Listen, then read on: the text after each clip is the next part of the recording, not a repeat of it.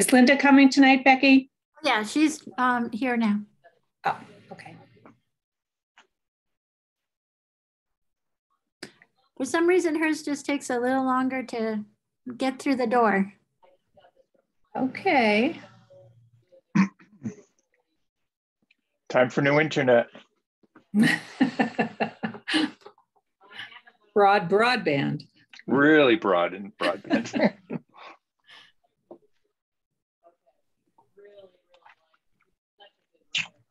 Yeah, I don't know what why that is.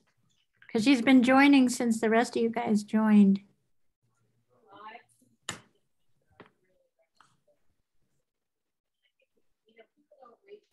She may have something up on her screen in another window that she needs to click on. she might have a steam powered computer or something too. You never know.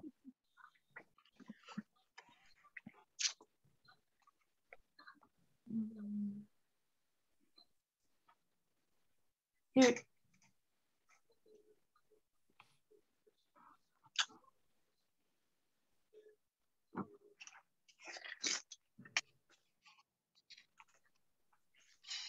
There she is. Okay, I'm going to go ahead and call this meeting to order. This is the Shutesbury Select Board, and today is January 12th. Is that right? Yeah. January 12th. And this is a, um, uh, a special meeting, kind of an out of cycle meeting, because we had um, something that we wanted to take care of um, right, right away. So um, we're going to do two things this evening. One was unexpected, but the expected one is just to make some uh, further modifications to uh, the town's COVID 19 policy for town employees. And I see Arlene Reed from the Board of Health has joined us this evening. Thank you, Arlene, for um, taking the time to, to come to the meeting. Um, as all of you are well aware, we have uh, spent quite a bit of time in trying to um, put something together that made sense out of a pretty crazy situation. You know, it evolves all the time at the federal level, and we've been evolving at the um, at the local level too. But I think tonight we have um, been able to pretty much nail down um, all of the the changes. We did vote um, last was it last week? No. Um, yes. Yeah. Yeah the changes. And um, so we just have a couple more. And I know Arlene has um, been consulted um, as our lead person on COVID-19 in Shutesbury and also um, consulted with uh, folks at DPH, a state epidemiologist.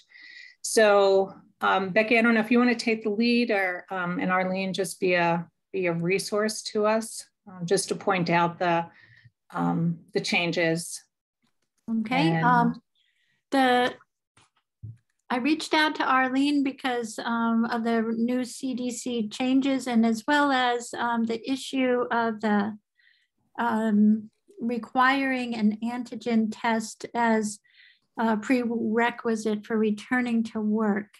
Um, Arlene had been uncomfortable with that uh, before we did it, but we she really dug in on the research. And um, when I called her again with a, we had a, we, we were trying to figure out different situations. So um, Arlene, I'd like you to explain uh, your reasoning. That would Yeah. be wonderful. Sure. So um, consistently, the CDC and the Department of Public Health have advised against a test requirement for return to work, particularly when most of the testing that was out there was PCR testing, because a PCR test in particular is so sensitive that it can detect little fragments of the genetic material of the virus and light up positive uh, long after a person is no longer contagious. So it can pick up on inactive fragments of that genetic material that have no ability to replicate. So no ability to cause infection. And people vary as to how long that persistent positive will be for them on a PCR, but it has the potential to go for three months. That's, I think it's the outer limits, but um, so uh, you really get yourself in trouble if you require a PCR test as a condition for returning to work. People can, or empl employers and schools are not advised to use a test based strategy for return to work, but if they wish to, then they, um, they might want to require an antigen test for return to work. Those are the rapid or so-called lateral flow tests, the ones that, you know, the fluid flows across a strip and you read it within 15 minutes. Um, those tests have a much lower likelihood of any persisting positive because they are looking for the uh, the proteins that are on the outside of the virus itself. So if they are lighting up positive, if the person did the test correctly, it's pretty you're pretty confident there is virus present. Um, the problem with home tests, at least, is that there is a lot of room for human error, user error. Um, and so people read them incorrectly. People may contaminate them with letting the swab touch the countertop. There's all sorts of ways that it can give an incorrect result or that person could interpret it incorrectly. Um, so um, anyway, the the um, CDC made these changes recently um, to that the five day of strict five days of strict isolation followed by five days of strict um, masking. And they did this because their analysis of the data, even since Omicron made its appearance, is that the vast majority of transmission of this virus happens in the first few days after symptom onset. It is, and most of that between symptom onset and five days after symptom onset. It is not zero transmission between five days and 10 days.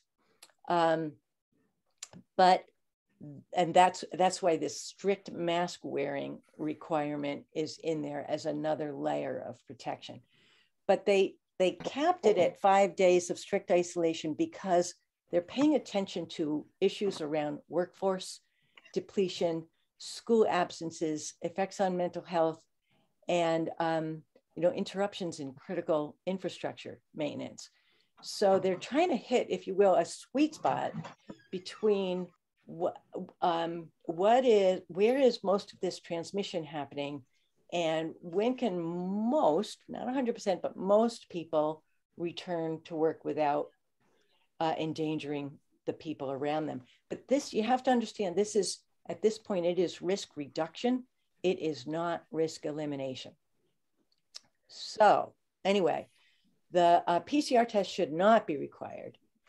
An antigen test, if you do require it, when I called the epidemiologist to run this by them, he said to me, I, I started to explain employee situation, uh, test requirement for returning to work. And he interrupted me and he said, We would not recommend that. And um, he uh, maintained this, the state, the, the position statement of the DPH to use a time and symptom based strategy rather than a test based strategy. And he gave as a point of reference um, that even in with our most vulnerable population, so in a long-term care facility or a nursing home, for instance, um, employees who have tested positive for COVID, in those situations, they are asked to present a negative antigen test before they go back to work. But even in that population, if they were to, on day six, still get a positive antigen test, then they would stay home through day 10 and no further testing would be required of that person. They could come back after day 10. Um, but um, if an employee for out of their own volition, they went and did another test and it were positive, they still would not keep that person out at day after day 10. That that even in that vulnerable population, they they don't want employees staying out beyond 10 days. So um, anyway, I hope that answers some of these questions that the, the current recommendations or the current advisories for a person who's tested positive for COVID is to strictly isolate for five days. If at the end of five days, they can say they've been without fever for at least 24 hours and their other symptoms have substantially improved, they can return to work and all other activities, but mask around others for uh, five more days, so a full 10 days after, after they, uh, their isolation period began. And uh, no test required. But if an organization wishes to require a test, then the most that should be required would be an antigen test and not beyond day 10. Not beyond day 10. So the, the, uh, the, the, the, most important message I want to convey is that that CDC and DPH do not recommend a test requirement for return to work. Yeah. But employers have the right to do so anyway. If you're going to do so, make it an antigen test only and don't require anything beyond day 10, regardless of what has happened with their testing before. So what we had written, and Becky, can you scroll back up to that yeah, yeah. Um, first page, please? Um, so what we had written was, it said that we that the employee had to provide a negative antigen test, but it was didn't say anything about the 10 day, right? If they were returning to work within the 10, 10 day period. Right. Is it just right? said the, it was a negative antigen test was result was required to return to work. Right. Um, I thought that was only for people who were symptomatic, not and were wondering whether they had COVID, but not for people who had tested positive already. Can you clarify? It was for both. It was for people who test did I believe I uh, at least on the vaccinated, it's for people who tested positive you are fully I back. see on the next to the last bulleted item. In four or five. Um, or third to the last, if you have symptoms and test positive, complete a 10 day period that should be updated to five if it's going to comply with DPH. Return to um, work only after 10 days have Arlene, it, we have the current policy on the screen. I think you're reading an older one. Oh, sorry. one. I'm reading the 1221 one. I'm so sorry. Yeah, so this is um, the 12, I mean, January 4th one that with your edits in it. Okay, sorry. So that's, um, can you go to number four and just the third bullet, fully vaccinated should be asymptomatic and test negative. You should return to work. Is it fully vaccinated? I think this was test, this one was symptomatic and test positive. This was symptomatic and test negative. Okay. Okay. Fully vaccinated, symptomatic. Because you, you could be you could be symptomatic and just really have a cold, right? Isn't that right? The symptoms right. are not okay, that so that's what we were talking about. Okay, I just wanted to make, make sure we didn't miss it. Um, okay, so every so we're gonna we would remove providing the negative antigen test, both for um, for fully vaccinated, right? Yeah. Okay. And then if you were unvaccinated, it's the same. You don't have to provide the negative antigen test. Right. Can I just get some clarification from Arlene? Like the um, the the number four, the fourth bullet there, it says return to work when your symptoms are minimal. From what I gather from what you were saying, if you have a fever, that's not considered minimal, right? Right. Should we put the word fever in there somewhere? Yeah, you should. The criteria I use that I've trained to use is um, no fever in the preceding 24 hours without the help of fever reducing medications.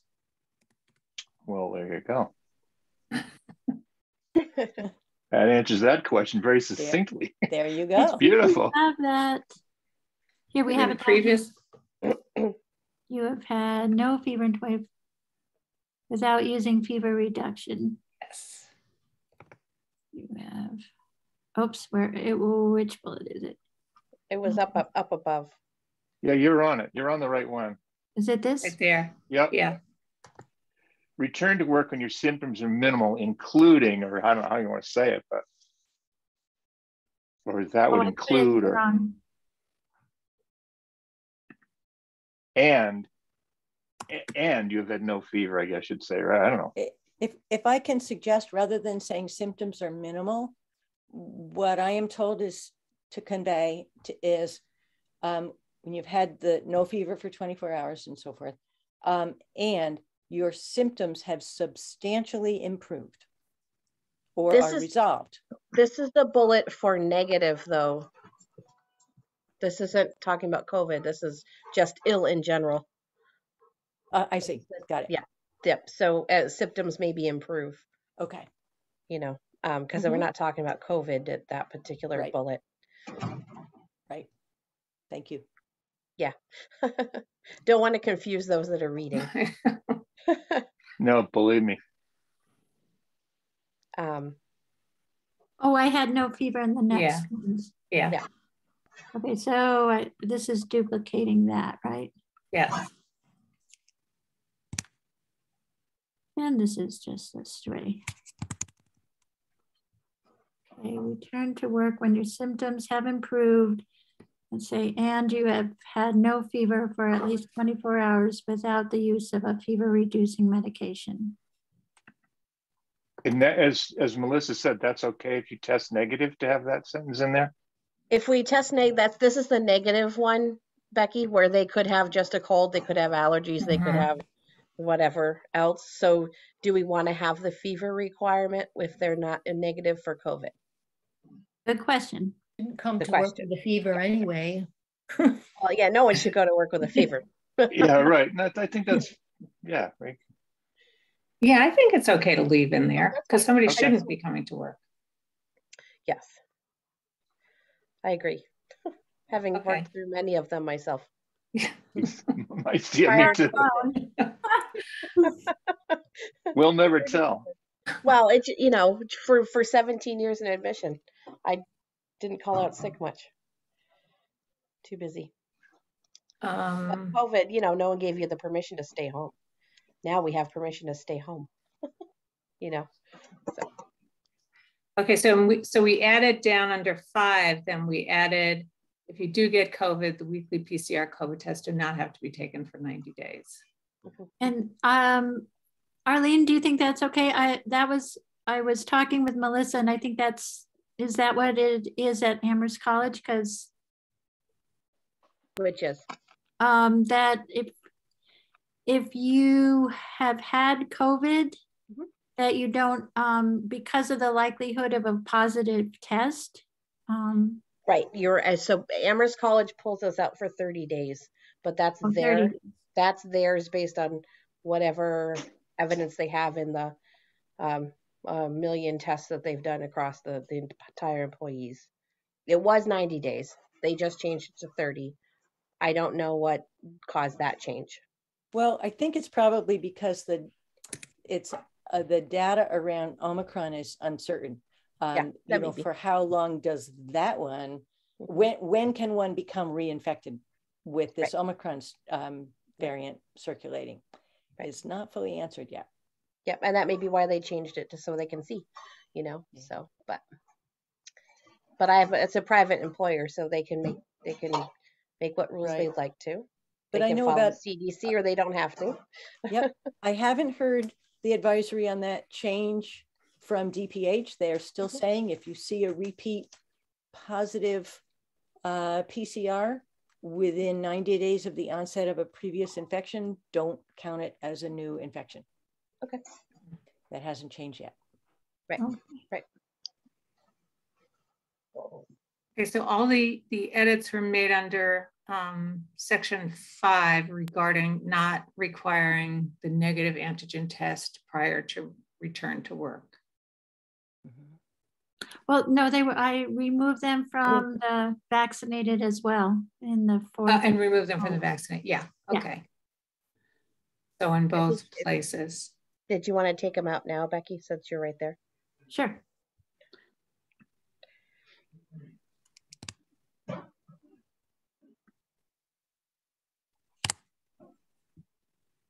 Unhighlight that afterwards.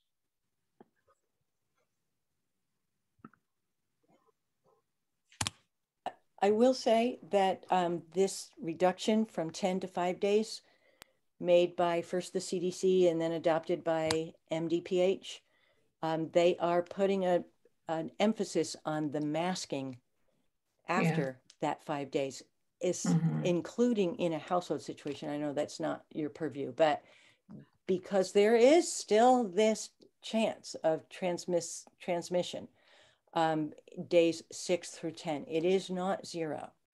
Um, and uh, masking 100% of the time around other people, including one's own household members, is important in that regard. And the, eh, the 95 family of masks is what is recommended.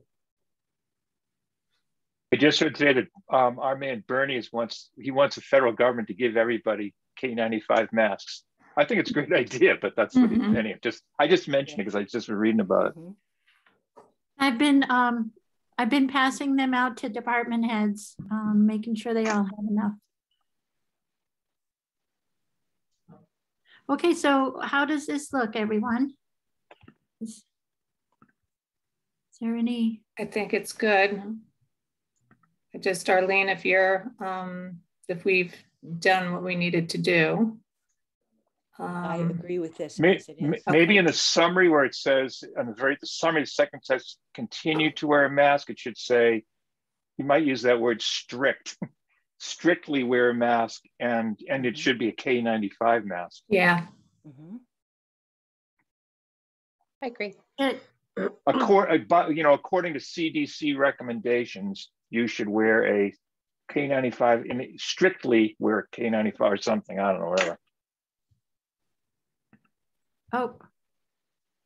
I don't know, I think Chris, Kristen's trying to get in this meeting. I, I don't know if she just has a wrong meeting or not. Um, so I'm trying to edit this strictly. Sorry, strictly where this was I this is what Arlene sent me word for word. Yeah, and I copied and pasted it out of DPH guidance. Yeah. Yeah. St- strictly wear a KN95 mask, right? Mhm. 95 mask. Is that the totality of the change you wanted, Eric? I think so, unless you want to just say per CDC guidance or something. I, it doesn't matter to me if we do that, I guess, but that sort of maybe adds a little more. and, and, and, and DPH, right? It's the Massachusetts Department of Public Health too. Uh, yeah, yeah, yes.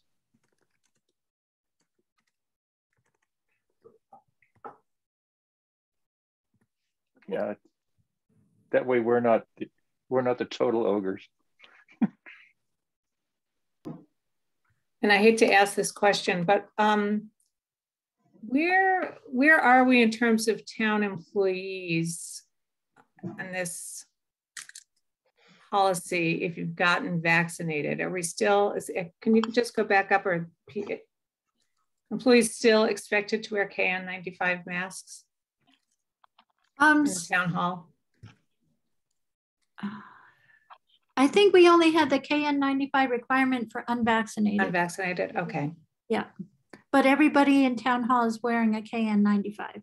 Uh, well, We yeah, at we least might want to have it for everybody.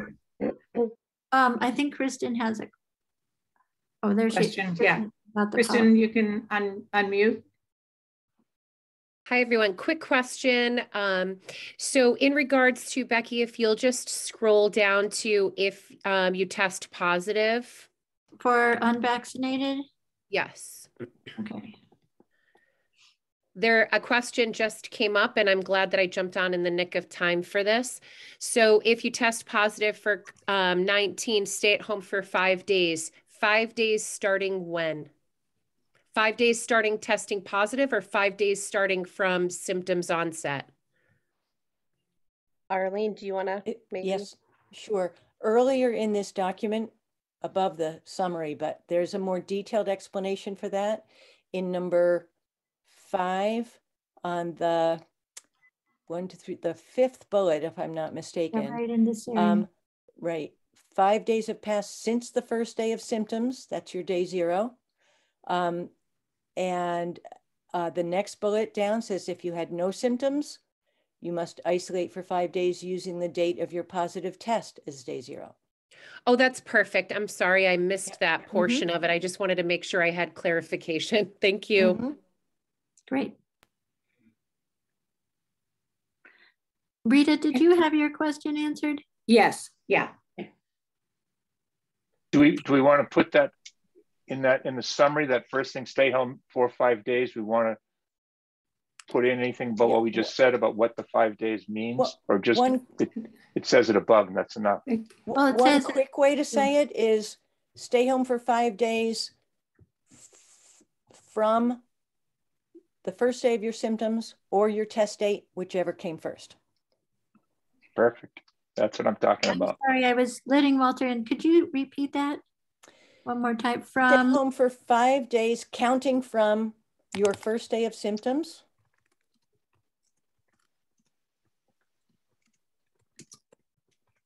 or your test date, whichever came first.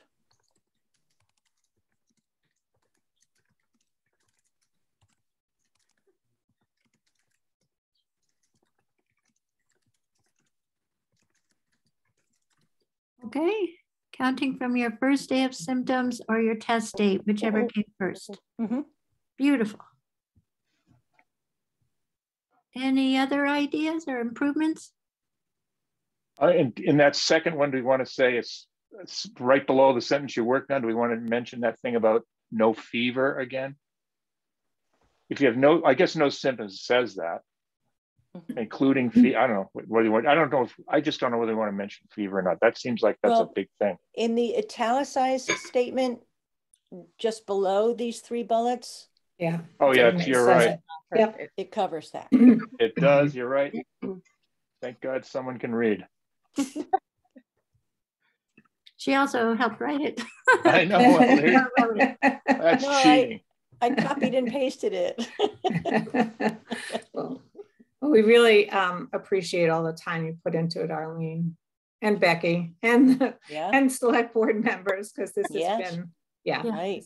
Thank you, everybody. yeah And we, we may we may be doing this again. Who knows? yeah yeah. I'll bet on do, that. Do, do I hear a motion to um, approve the COVID-19 employee policy as amended? I So I moved. I yeah, and I will second that. Either way, yeah. So Any- moved, yes. Any further discussion? No. Um, so Becky, this will get, uh, I'm gonna Distributed post it without your signatures. okay, And then when I can get your signatures, that'll be great. okay, okay, great. And then I'll- Um, all those in favor signify by saying aye. Makepeace-O'Neil I. Stocker eye. Farrell, aye. Well, thank you, everyone. Um, Arlene, thanks, Kristen, for coming. You're more than welcome to stay. We're not, we just have one more thing this evening, so. um, All right. Thanks, everyone. We'll see you again, I'm sure. Thanks, Arlene. Thank you. Bye-bye. Thank you. That was, a you've been a huge help. Yes, Thank you. yeah, thank you. Thanks.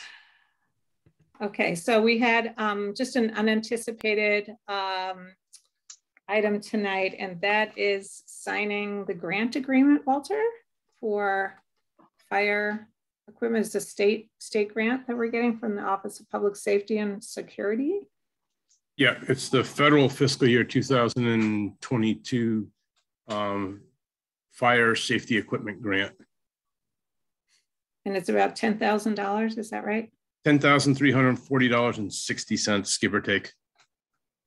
Okay, give or great. take. Yeah. Yeah, right. Um, any, Not 61 cents. That might be 62, I'm not sure. Yeah, no, whatever. and Walter, I didn't read um, all of this, but can you just tell us quickly again what? uh, this- Basically, this is the, the second year of a five-year grant cycle that they're doing this. Um, and there, there's a, there's an approved equipment list. And this year it was a very competitive grant where what was on the list also had priorities and they had uh, ratings. Um, so the possibility was you could get the grant, but not get everything you asked for, not get all the money you asked for, depending on, you know, if it met, met the higher requirements or not. Um, as it was, we were able to get everything that we requested fully funded. Um, I was just notified this, this afternoon that we got, that we were approved for the grant. Um, and now we just need to get this in, you know, time is somewhat of the essence, unfortunately, on these because it, the grant has to be done and we have to receive the equipment and paid for it by June 30th. And with the way some certain things are being, um, you know, supply chains, I want to take advantage of every day possible to try to get it in and get things ordered. Sure. I think it, it qualified as a um, unanticipated uh, request, I, so. I appreciate that. Because I know even though you, you're voting on it now, it's going to be a day or so before you can get it signed. So um, that's why I was kind of pushing to get it tonight if possible. Sure. Okay, um, questions? So do I hear a motion um, to execute the grant agreement for the fire safety equipment? So moved. Second, Any further discussion? Okay, all those in favor signify by saying aye. Makepeace-O'Neil, I. Stocker, aye. Farrell, aye. So we just need to get in there as soon as possible to sign it. Okay, I can come in. Yeah, I think it just, Rita, you're the only one that really has to sign it. It's Oh, okay. I can come in tomorrow. Standard morning. contract in Castle form, pretty much like the last one, plus another, another addi- additional piece of paper that gives the scope of the work, the agreement between, you know, the town and the state, and, you know, just saying that we all understand this is our responsibilities. I think they ran into some problems last year, so they, they really got very strict on how the things work this year. Okay. Uh, So I'll come in in the morning. And um, do you need us to come in to sign anything else? Uh, the warrants are ready for everyone. Okay. Okay, Um, all from right. Last week. Uh, Okay. Um, All right, great. Anything else we needed to check in about? I would just call Right. attention for the previous, ne- the next meeting, that thing about Elaine, there's a letter from Elaine Paleo and that we should all be looking at, that's all. I Did you have a see that? response to give her, Eric. Oh, okay. Yep. And um, Elaine's waiting for us because I can't open her fire chief Oh. meeting till we end this. Okay, all right. Oh, Okay, go, have- go, go. Do I hear a motion to adjourn? S- Motion to Second, adjourn. second, so moved. right. All right, all those in favor? I. Aye. Farrell, aye. Okay, good night, everybody. Good night, Good thank night. you. Thank you.